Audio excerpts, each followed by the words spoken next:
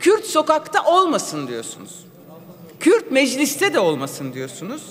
Kürtler adalet istemesin, özgürlük istemesin, eşitlik istemesin diyorsunuz. Peki Kürtler ne yapsın? Bu cevabı da verin. Biz de bunu anlayalım, tartışalım. Ama ha şunu söylüyorsunuz. Kürtler Kürt olmasın. Ama olacaksa da meclis başkan vekilimiz Ahmet Aydın gibi Kürt olsun diyorsunuz.